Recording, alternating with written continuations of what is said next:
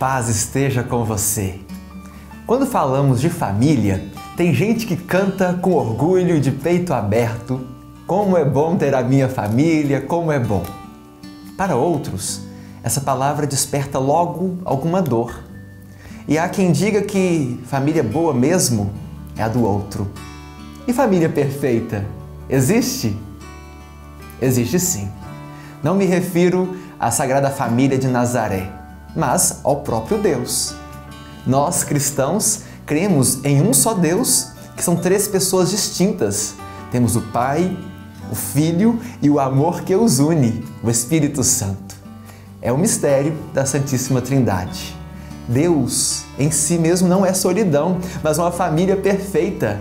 Deus, que é amor, que é em si intimidade de pessoas divinas, é também Criador cuidador, educador. E assim ele criou o ser humano, a sua imagem e semelhança. Homem e mulher os criou.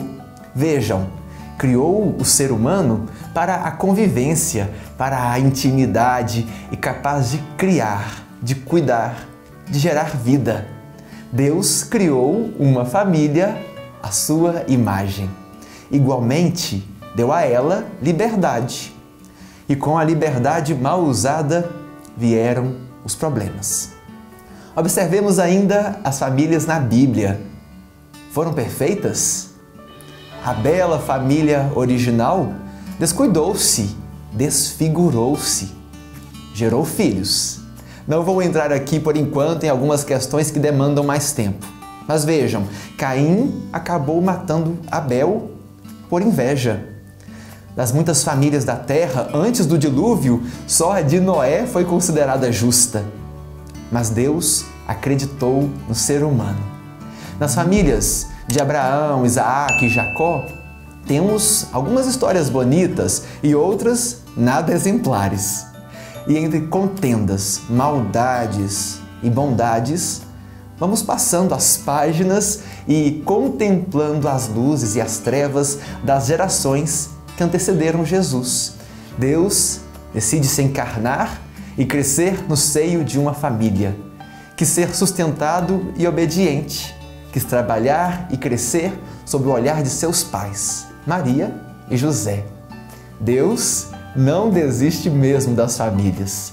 Ele entra em uma, torna-se ser humano, estrutura-se em uma casa cujo pai é justo e temente e cuja mãe cheia de graça. Todos eles humanos e frágeis. Enfrentaram a falta de uma moradia digna, a perseguição, a discriminação, a incompreensão, o trabalho, as injustiças, a morte, os mistérios da dor e da alegria e da glória. Por seus parentes mais próximos, Jesus foi taxado de louco. A humana e santa família compartilhou também das dores e das alegrias de outras famílias. Num casamento em que o vinho veio a faltar, Jesus realizou seu primeiro milagre. Ele esteve em festas, em leitos de dor e em funerais. Curou sogras, pais, filhos e amigos. Ressuscitou filhos, irmãos, esperanças alimentou multidões e delas recebeu alimento e carinho. Dedicou-se a tantos feridos, acamados, desprezados e ignorantes que andavam sem luz como ovelhas sem pastor. Ele se encontrou com uma adúltera e com uma mulher que lhe disse ter cinco maridos. E se sentou à mesa com ricos e pobres, com pecadores de diversas famílias. A igreja que em seu fundador encontra a dignidade, a beleza e a esperança para a vida em família, se reunia em seus primórdios de, cada, de casa em casa, partindo o pão com simplicidade de coração. É em Jesus que nós devemos nos inspirar, estando presentes nas alegrias e nas esperanças, nas tristezas e nas angústias dos casais e das famílias inteiras, para ser em cada situação a presença amorosa de Jesus, que oferece seu ideal exigente com proximidade, amor e misericórdia. Assim, olhando para a família perfeita, buscamos ser perfeitos como Deus é, e olhando para o horizonte do sonho de Deus, podemos proclamar com Dom Henrico Manceroni: Acredito na família, ó Senhor aquela que surgiu do teu projeto criativo, fundada sobre a rocha do amor eterno e fecundo.